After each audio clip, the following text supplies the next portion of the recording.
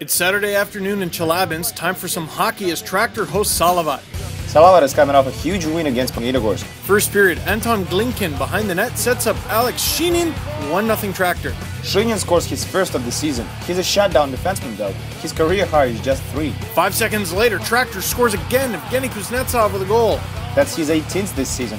Salavat argued there was a goal interference. There wasn't any. The goal stands. Still in the first, Alex Svitov has the puck. Oleg Saprykin waiting for a pass, but Igor Mironov gets it instead and scores. Crafty play by Svitov.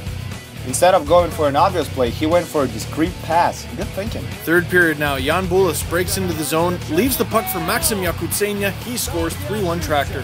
Heavy shot by Yakutsenya, and Iiro Tarkki can't hold on to the puck. That's his 14th of the season. That's all Traktor would need. They get the W, but they're still six points behind their divisional rival Magnitogorsk 3 1 final.